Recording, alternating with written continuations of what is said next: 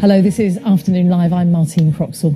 In the past hour, it's been announced that the Oscar nominated British actor Albert Finney has died after a short illness. He was 82. Finney enjoyed a long and distinguished career on stage and screen, following his early success as a Shakespearean actor in roles including Hamlet and Macbeth. His role as Tom Jones in the 1963 film made him an international star.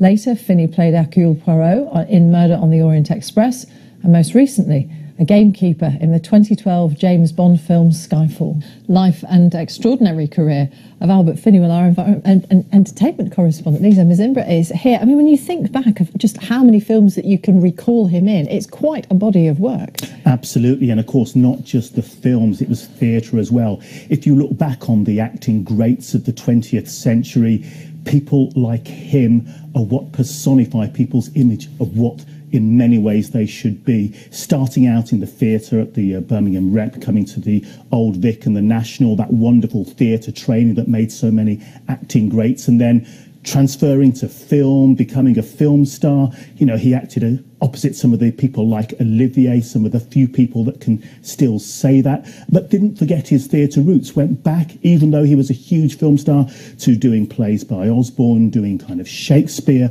and then almost reinventing himself as he went along. He could sing as well. He appeared in uh, the musical Scrooge, the film Annie. He had such a versatility about him. He was one of those 20th century actors that really, as I say, personify what that great acting careers could be like. Yeah, and I, I think uh, that's sort of borne out by the, the sort of uh, comments that have been made about him over the years by his co-stars, by directors, Sam Mendes notably, when uh, with with Skyfall. Absolutely, that was his really last cinema role, playing opposite Daniel Craig in that uh, the 50th anniversary Bond movie Skyfall, and uh, it was you know he was of course opposite uh, that in Dame Judi Dench as well, and it's remarkable. There were so few actors that could say that you know they played against Daniel Craig, they've played against Judi Dench, they've played against Laurence Olivier. You know, he really was what you'd think of as an actor. Actually, had the you know the wonderful, vibrant voice. He had the personality. He had